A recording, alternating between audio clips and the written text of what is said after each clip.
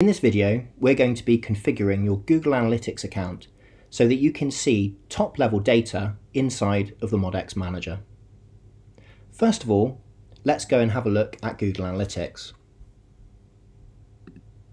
When you go to analytics.google.com, it will ask you to sign in with your Google account. It's worth mentioning that your Google account and your ModX Manager account are different. If you can sign in to Google Analytics and you can see the website profile that you're trying to view, then this is all that you need.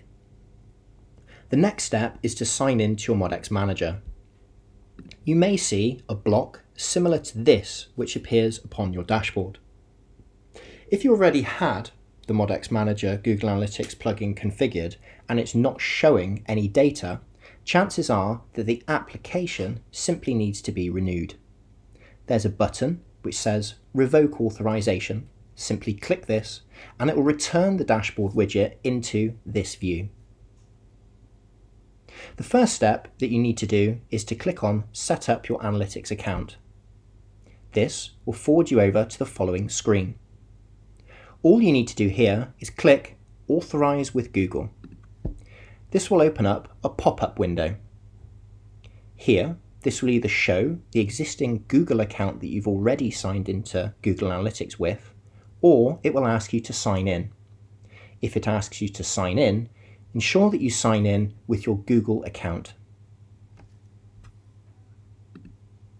Upon clicking or signing in, it will show you this notification.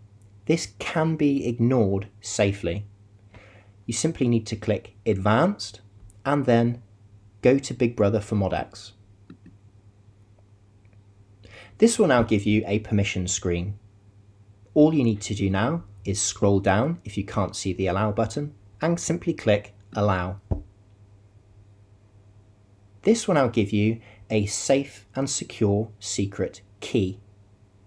You can either select the text by clicking in the box or click the handy button to the right hand side to copy it to your clipboard. To ensure that this video caters for everybody, simply right click and select copy. This pop-up window can now be closed.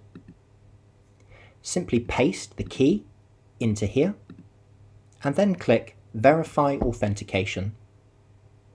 The page will now reload. What you'll now see is an option box. Inside the option box, you can find the profile that you wish to display inside of your ModX Manager dashboard.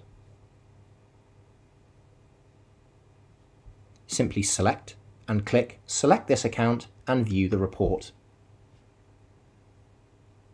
And that's it. That's now set up.